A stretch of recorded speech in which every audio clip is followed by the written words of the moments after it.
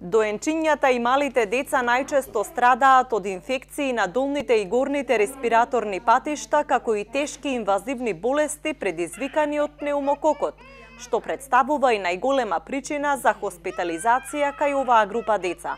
Доктор Катерина Ставрик смета дека новите вакцини ќе значат поголема заштита на децата и избегнување сериозни компликации на здравјето.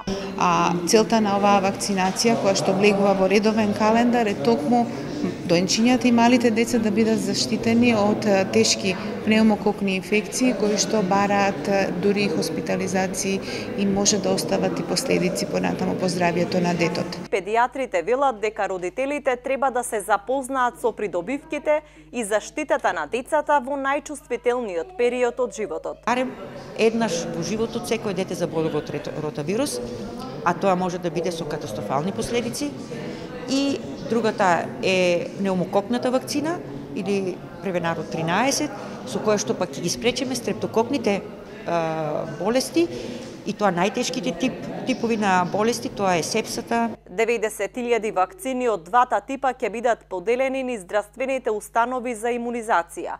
Овие вакцини во повеќето европски земји се применуваат повеќе од една деценија.